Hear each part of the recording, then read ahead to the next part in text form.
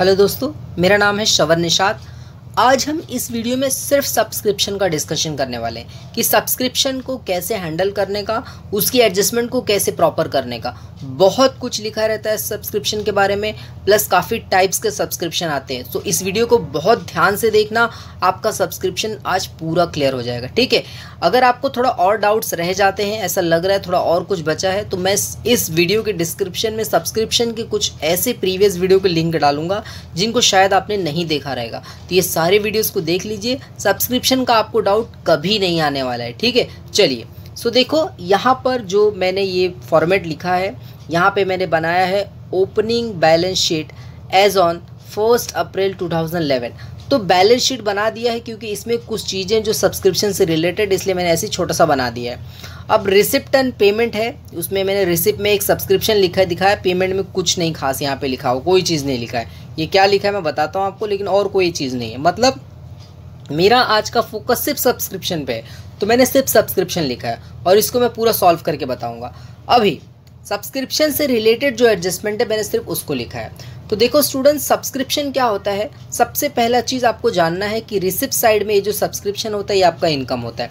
तो आपने जहाँ पर भी आपका सॉल्यूशन वाला, ये जो इनकम एंड एक्सपेंडिचर अकाउंट जो आपने बनाया है, इधर एक्सपेंडिचर और इधर इनकम उसमें आप सबसे पहले रिसिप्ट वाली चीज़ें जो टू में यहाँ पे लिखी हुई थी, जो यहाँ पे लिखा हुआ था टू सब्सक्रिप्शन उसको मैंने यहाँ पे सबसे पहले बाय सब्सक्रिप्शन करके वन लाख ट्वेंटी लिख दिया।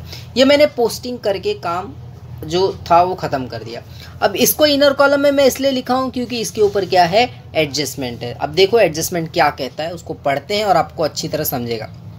तो सब्सक्रिप्शन में बोलता है इंक्लूड है पास्ट ईयर का twenty thousand and ten thousand for the next year अब ये पास्ट और नेक्स्ट क्या है? तो देखो आप जो भी एनपीओ का सम सॉल्व करो, उसमें सबसे पहला चीज़ होता है आपको पास्ट प्रेजेंट और फ्यूचर ईयर को जानना। अगर आपने मेरे लेटेस्ट एन पी ओ के वीडियोज़ देखे रहेंगे, इसके अंदर मैंने प्रॉपर बताया है। मैंने वहाँ पे पाँच स्टेप बताए हैं, जिसमें से मेरा पहला स्टेप है कि past present and future year को खोजना। वो कैसे खोजते हैं? देखो, यहाँ पे फ़र्स्ट अप्रैल 2011 है। मतलब ये फ़र्स्ट अप्रैल 2011 को स्टार्ट हुआ है। तो थर्टी फ़र्स्ट मार्च को ख़त्म हुआ रहेगा। यहाँ का डेट रिसिप्ट और पेमेंट का क्या है? थर्टी फ़र्स्ट मार्च ख़त्म हुआ रहेगा। मतलब मेरा इलेवन और ट्वेल्व ये हो गया मेरा प्रेजेंट ईयर उसके ऊपर वाला जो मतलब जो बीत चुका है ये जो दस ग्यारह ये क्या हो गया? आपका पास्ट हो गया। और ये जो ग्यारह बारह के बाद जो बारह तेरह आया ये आपका क्या हो गया? नेक्स्ट ईयर बोलो या फ्यूचर ईयर बोलो। सो so, दोस्तों एनपीओ ये कहता है कि जो ये हम लोग इसका इनकम और एक्सपेंडिचर अकाउंट बनाते हैं इसमें केवल जो ईयर चल रहा है, उसी का ही होना चाहिए। ध्यान देना, ये जो इनकम और एक्सपेंडिचर अकाउंट जो आप बनाते हैं, ये सिर्फ़ करंट ईयर का होता है। तो मुझे बताओ, अगर ये एक लाख बीस हज़ार जो आपने लिख दिया है इनकम में, और इसमें बोलेगा कि भाई ये पिछले साल का मतलब जो आपका ये दस ग्यारह आपने लिखा है, इसका जो है बीस हज़ार है, इसमें है तो आप मुझे बताओ, जब बीस हज़ार इसके अंदर है तो चुपचाप निकालो ना। क्योंकि मैंने क्या कहा ये सिर्फ़ करंट ईयर का मतलब ये पूरा जो है वो आपका 11 और 12 का होना चाहिए। लेकिन इन्फॉर्मेशन ये कहती है कि 10 11 का भी इसके अंदर है। है तो चुपचाप निकालो मतलब माइनस कर देने का। सो so, यहाँ का जो आपने ये पढ़ा था 20,000 पास्ट ईयर का ये क्या करोगे? माइनस कर दोगे। अब इसका सेकेंड इफ़ेक्ट क्या होगा?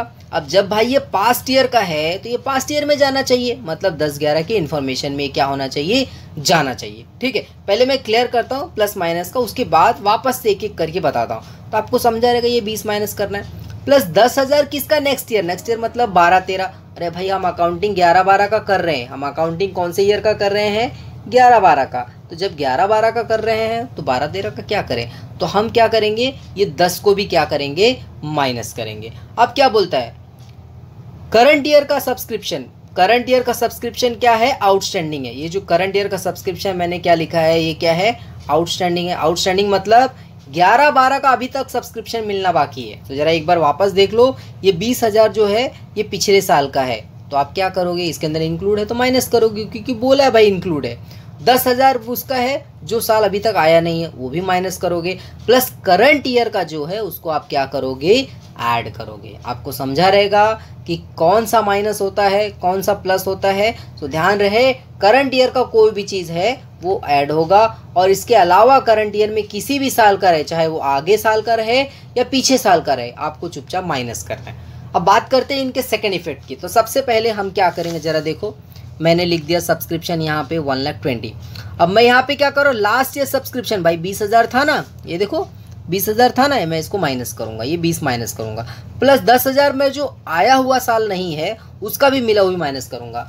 तो इन शॉर्ट मैं एक लाख बीस में से अगर ये बीस, दस, तीस माइनस करूँ तो जो मेरे को आंसर आएगा, वो मेरा आंसर आएगा नाइन्टी थाउज़ेंड। कितना आएगा? Ninety thousand.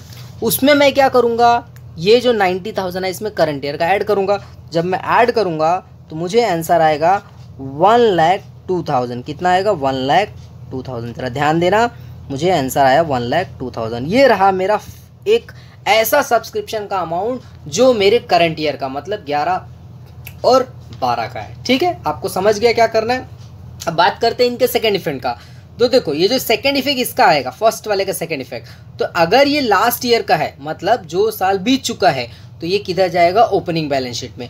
अब आपको सिर्फ़ क्या करना है, इस अमाउंट को, और जो आपका ओपनिंग बैलेंस शीट में सब्सक्रिप्शन दिया, उस अमाउंट को मैच करना है। तो आप ज़रा ध्यान से देखो, यहाँ पर थर्टी है, ज़रा देखो, ये ये ना बहुत ही इंपॉर्टेंट कंसेप्ट है। अब यहाँ थर्टी है, और आपको तो अभी तक बीस मिला।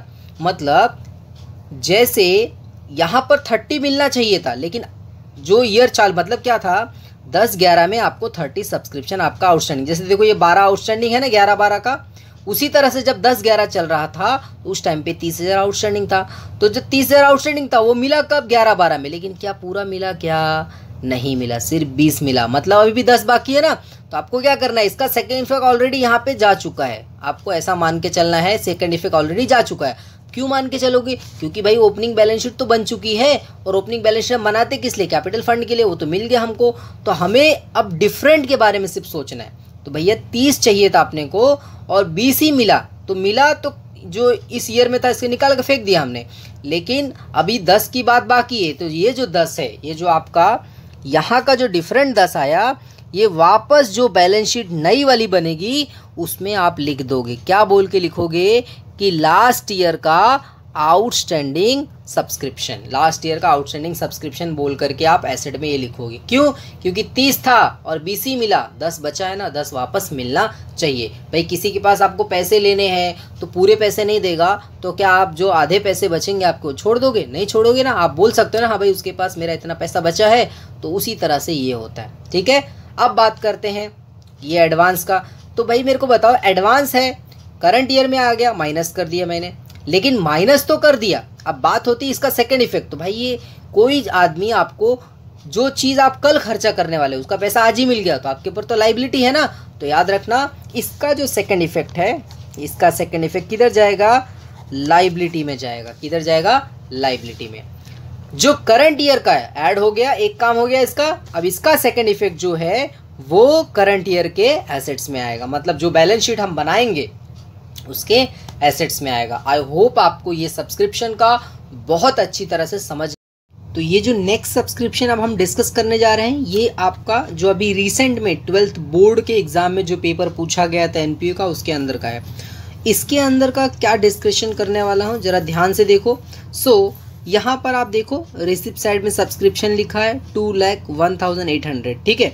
अब ये सब्सक्रिप्शन जो है इसमें कुछ नहीं बोला है कि भाई इसमें पास प्रेजेंट फ्यूचर या कौन से ईयर का मतलब टोटल दिया हुआ है। तो चलो ठीक है टोटल दिया है तो सेम हम सबसे पहले क्या करेंगे? ये जो सब्सक्रिप्शन है, इसको हम इनकम में शो करेंगे। जो आप इनकम एंड एक्सपेंडिचर अकाउंट बनाओगे, उसके इनकम में जाएगा, ठीक है? अब इससे रिलेटेड एडजस्टमेंट पढ़ लेते हैं और एडजस्टमेंट क्या कहता है? जो अभी अभी हमने सॉल्व किया, क्या उसी से रिलेटेड है या थोड़ा हटके है? Subscription receive during the year include thirty four thousand for previous year अब चाहे प्रीवियस बोलो या पास्ट बोलो, या आपका जो होता है माइनस करने वाला होता है तो यहाँ मैंने माइनस लिख दिया है। Ten thousand for the next year next year मतलब फ्यूचर ईयर होता है, इसको भी मैंने माइनस कर दिया है, क्योंकि ये सब क्या है इंक्लूड है, ठीक है? और करंट ईयर का कितना ट्वेंटी नाइन ये क्या है ऐड करना है। अभी अभी मैंने सॉल्व किया है, ये तीनों कोई अलग नहीं है, ये सब सेम है, ठीक है? सो ज़रा ध्यान से, अब नया क्या है इसके अंदर?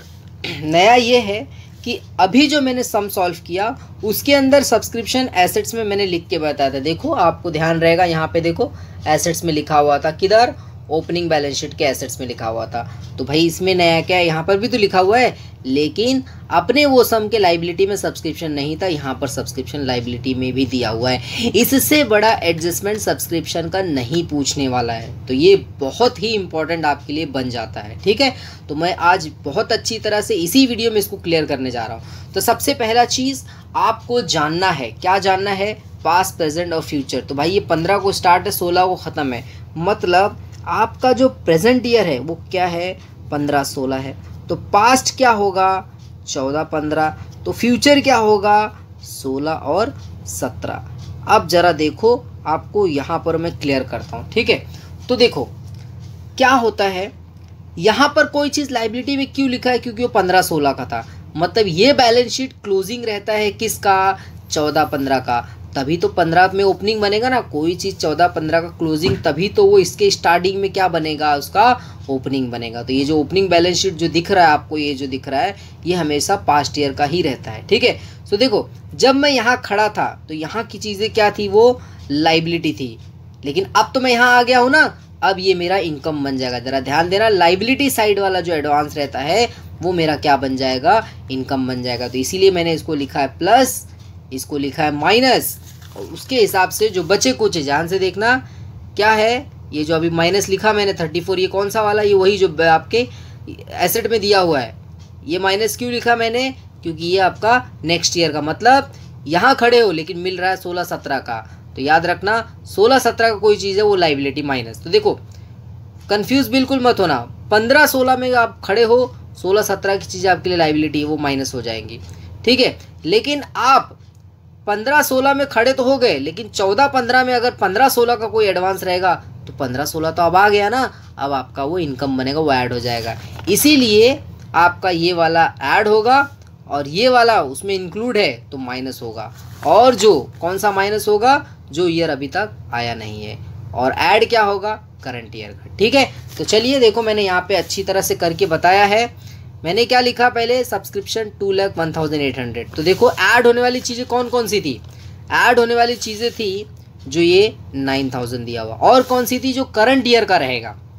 तो देखो नाइन थाउज़ेंड और ये ट्वेंटी नाइन ये क्या हो गया? ऐड हो गया। Last year outstanding subscription last year मतलब जो हमेशा एसेट साइड वाला रहता है, वो माइनस होगा। लेकिन यहाँ से देख के माइनस मत करना। अगर एडजस्टमेंट में दिया है तो। तो देखो ना, हमने एडजस्टमेंट पढ़ी ना भाई। एडजस्टमेंट पढ़ी हमने एडजस्टमेंट में लिखा हुआ है। क्या लिखा हुआ है कि ये चीज़ें क्या है? मिल चुकी है। वहाँ पर आउट से नहीं, लेकिन मिल चुकी है। इसकी वजह से यहाँ क्या होगा?